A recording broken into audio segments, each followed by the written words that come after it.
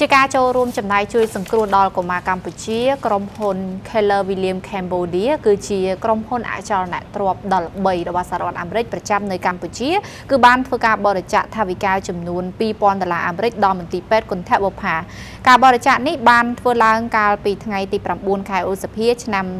2019ក្រោមការដឹកនាំរបស់លោកភូសម្បត្តិនាយកប្រតិបត្តិក្រុមហ៊ុន Keller William Cambodia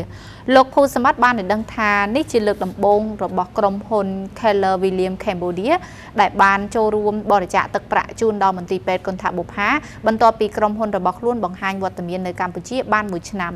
អ្វីដែលពិសេសគឺការបរិច្ចាគថាវិការសប្បុរសធម៌នេះគឺធ្វើឡើងស្របពេលសមាជិកក្រុមហ៊ុន Keller William លើពិភពលោកទាំងអស់បានប្រារព្ធកម្មវិធី Red Day ដើម្បីជួយដល់ការងារសង្គម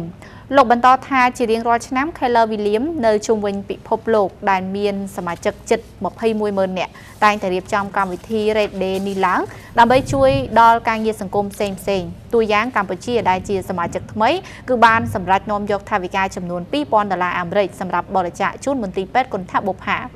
Keller William គឺមានកម្មវិធីមួយគេហៅថា Red Day Red Day គឺជាថ្ងៃមួយដែល Keller William ជុំវិញពិភពលោកជួយធ្វើការងារសង្គមអញ្ចឹងបច្ចុប្បន្ន Keller William មានសមាជិក Keller William ជាង20ម៉ឺននាក់នៅជុំវិញពិភពលោកមានប្រតិបត្តិការ46ប្រទេសនៅលើពិភពលោកហើយ Keller William Cambodia ហ្នឹងក៏យើងចាប់ដើមធ្វើកម្មវិធី Red Day ថ្ងៃទី1លើកទី1ផងដែរនៅក្នុងប្រជាណាចក្រកម្ពុជាយើងដោយថ្ងៃនេះ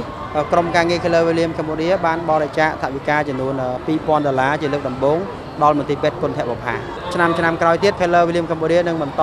ឧបត្ថម្ភដល់មន្ទីរពេទ្យគុណធបុប្ផានិងការងារសង្គមផ្សេងផ្សេងទៀតហើយយើងក៏សង្ឃឹមផងដែរថាប្រជាជនកម្ពុជាយើងនឹងបន្តជួយគ្រប់គ្រងមន្ទីរពេទ្យគុណធបុប្ផាដោយក្រុមហ៊ុនដទៃផ្សេងទៀតដែលគេបានឧបត្ថម្ភថវិកាពីដល់មន្ទីរពេទ្យគុណធបុប្ផាផងដែរបាទ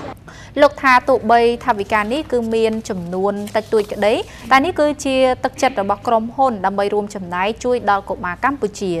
បន្ថែមលើនេះលោកបានសន្យាថាក្រុមហ៊ុននឹងបន្តរៀបចំកម្មវិធីសប្បុរសធម៌ផ្សេងៗដើម្បីរួមចំណែកជួយសង្គមនិងការអភិវឌ្ឍប្រទេសជាតិឲ្យកាន់តែរីកចម្រើនតួយ៉ាងបច្ចុប្បន្នក្រុមហ៊ុនក៏មានការរៀបចំពានរង្វាន់ Keller William Cambodia League 1ដែលមានក្រុមបាល់ទាត់16ក្រុមចូលរួមដើម្បីផ្ដល់ឱកាសឲ្យយុវជនចូលរួមលេងកីឡានិងជៀសឆ្ងាយអំពីគ្រឿងញៀនផងដែរ